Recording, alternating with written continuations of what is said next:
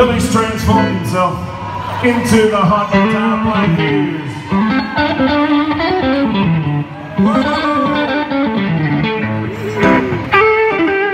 Ladies and gentlemen, New Zealand's greatest blues exponent. No, not New Ridge. Not New Ridge.